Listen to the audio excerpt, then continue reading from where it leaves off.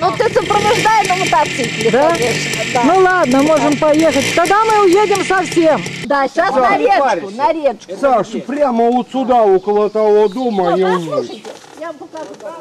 Не, не, вот сюда.